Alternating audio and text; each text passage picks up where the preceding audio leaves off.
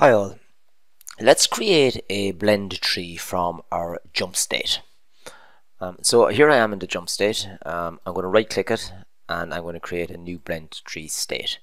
And the minute I do that I can now double click on um, my jump state and I'm, i have moved into my blend tree and I can go back by clicking on the base layer. So that's how I move forward and I move back. So the blend tree blends together uh, multiple animations depending on some variable. The variable I'm going to use for the jump is vertical speed. So currently we have a trigger called jump, which I'm going to get, get rid of. And I am going to replace it with a vertical speed. So I will, uh, I'll re, actually, uh, let me see, I'll rename it. No, sorry, I won't, I will, I'll rename it, no, I won't rename it. I will delete it. I will delete this. Uh, delete that. It says it's being used by uh, the jump state. To, in, it's be used by two transitions to jump. Okay, and I am going to add a new float, and I'm going to call it v speed. Uh, S P E E D v speed for vertical speed. I'll also rename my normal speed to h speed for horizontal speed. So we'll call this h speed just to keep things tidy. So there's the vertical speed. Um, I used to transition from idle to jump when uh, jump was triggered. Of course, that parameter does not exist anymore, so I'm just going to check, uh, make it v-speed, and when v-speed is greater than 0. Uh, and I used to move back um, when you're grounded to true. That's still the same. And likewise here, I used to go from run to jump, and I'm going to go from, actually, sorry, I'm going to delete these. I'm going to delete these completely because I'm going to use the VC the the the V speed. So I'll delete it from this transition, run to jump, and I'll also delete it from this transition, uh, idle to jump.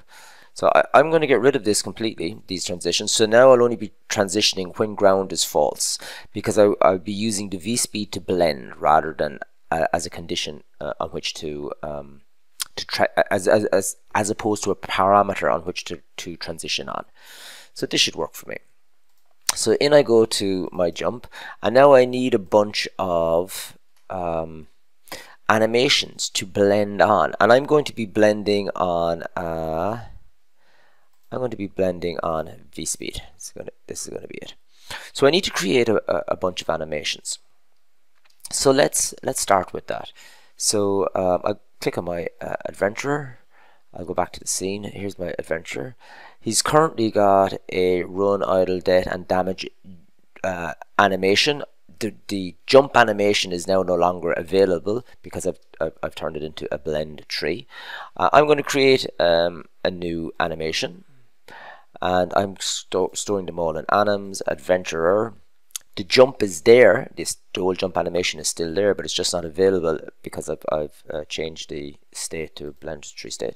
And I'll call it a I don't know, we call it jump 0, 1, or no, jump hyphen 1.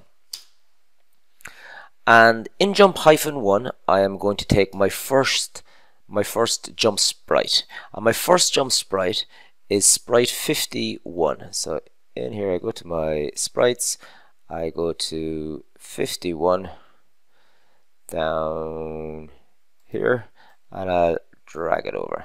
And there is my uh, my first jump sprite.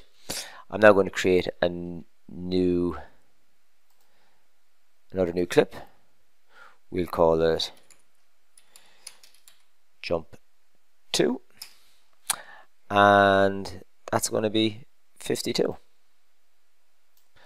I'm going to create another one. We'll call it jump 3 and that's going to be sprite 53 so my animations are very simple as in as much in as much as they only have one frame per animation. Create another one. Jump 4 and I'll drag in sprite 54 and that's 1 2 3 4 5 jump 5 is adventure 55 and finally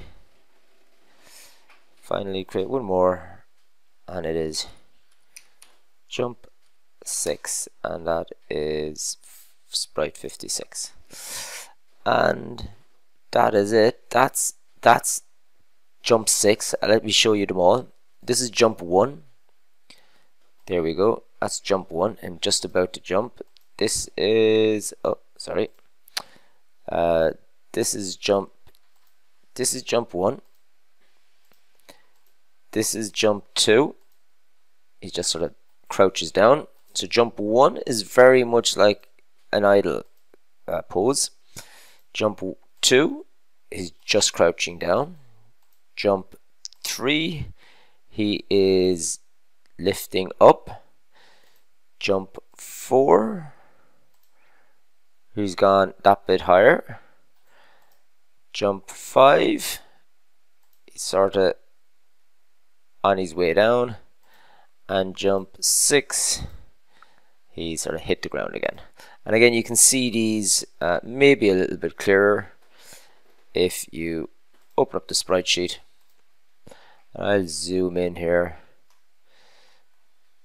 Nice tight. That's jump 1 jump 2 is he's just sort of crouching down a bit jump 3 jump 4 that's it. He's just about to reach the height. Jump at the, the top of his jump. Jumps uh, five. He's coming out of it, and then jump six. He sort of landed on the ground, or he's falling down uh, again. So that's these are the ones we're gonna we're gonna use. Uh, okay, so I've, I've created my five animations. I'm going to go to my animator. I'm going to go to my blend tree, and now I'm going to add some motions.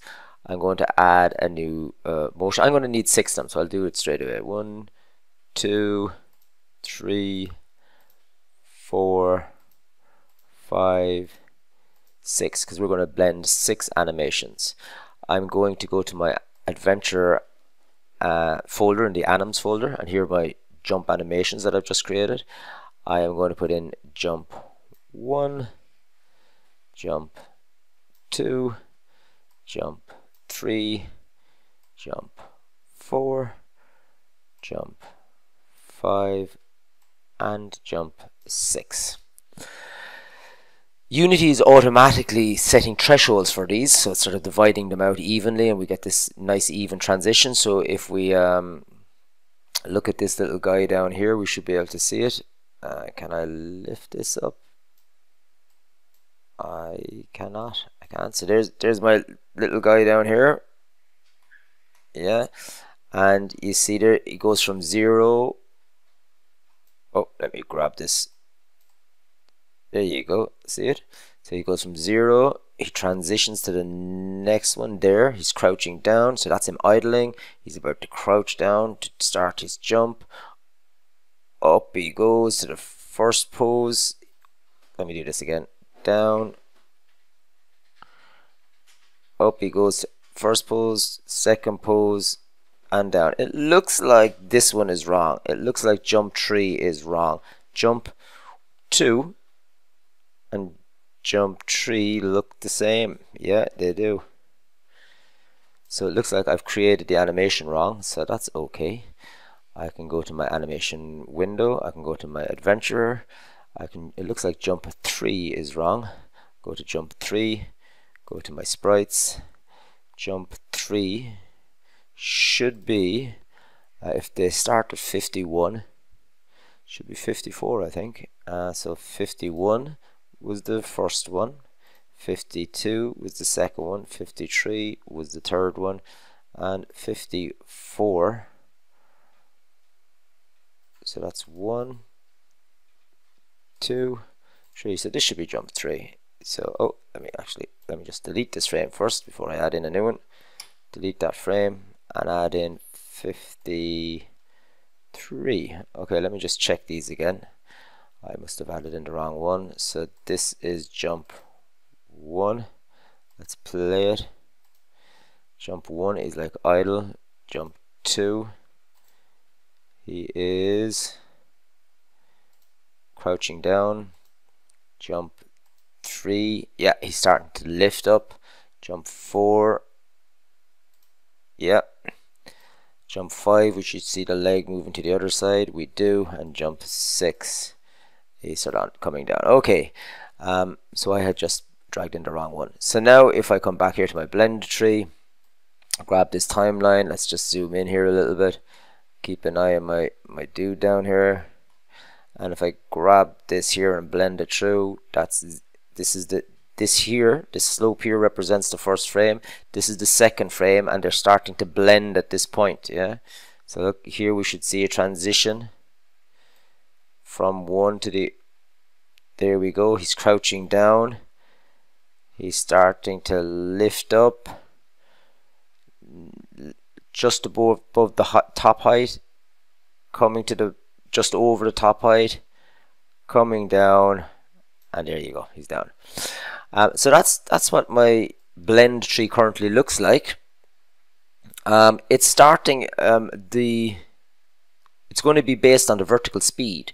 So the vertical speed is actually going to start um, at something like you know I don't know we'll, we'll, give it a we'll give it a force and it, um, we'll, we'll apply a force to this character and the velocity of the character will be increased pretty much instantly so the force, the vertical speed, the v speed, uh, the ver vertical speed, v speed, uh, doesn't go from zero to one. Um, in fact, sorry, I've just changed this by accident. In fact, the vertical speed will go from something like, you know, 10 to minus 10.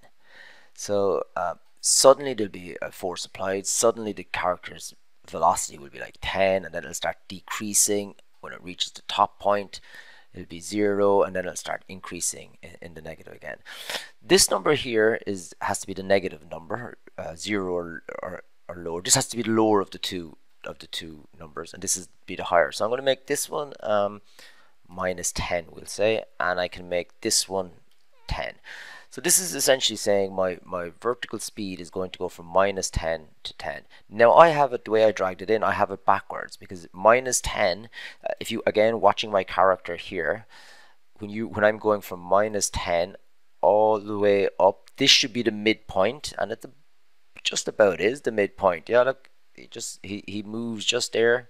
He goes from the legs move, so that's him at the midpoint, and he comes back down. However, it should be the other way around. He, it, it, it goes from 10 to minus 10. So this should be the starting frame and going that way. So I just need to move these around. So that should be 1. That should be 2. That should be 3.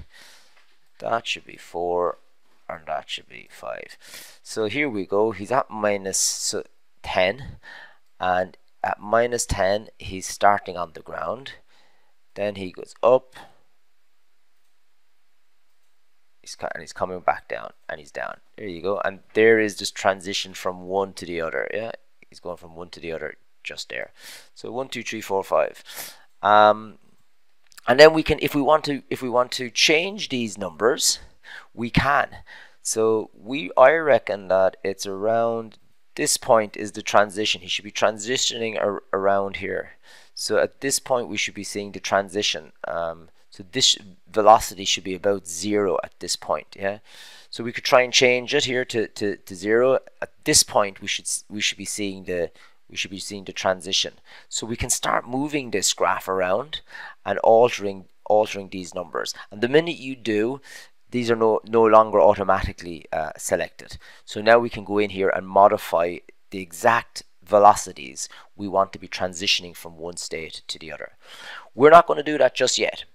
I'm going to I'm going to leave it like this so it's very uniform at the moment it just goes up and it goes down and it's um, and what I'm going to have to do is I'm going to have to write code and debug out the, the character's velocity when we do a jump and then based on that we can set these values so I'll do that uh, at a later stage but there you go that's our, our blend tree now we just need to sort of um, fine-tune the transitions from one animation to another so let's test test it and see uh, what we have at the moment. So hit play, um, and I'll go to.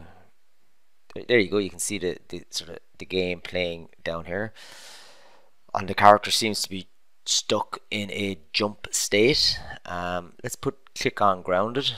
There you go. The character is grounded and it's idling. Let's give it damage triggers. Yeah, the damage happened.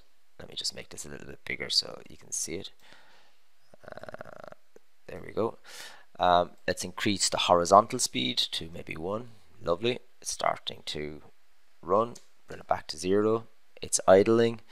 Now if I hit, um, if I take it off ground, so let's pretend a force is going to be applied to the character, vertical force, it goes, we can see, if I go into my base layer, we can see it's gone into the jump state, which of course is a blend tree now. It's gone into the jump blend tree.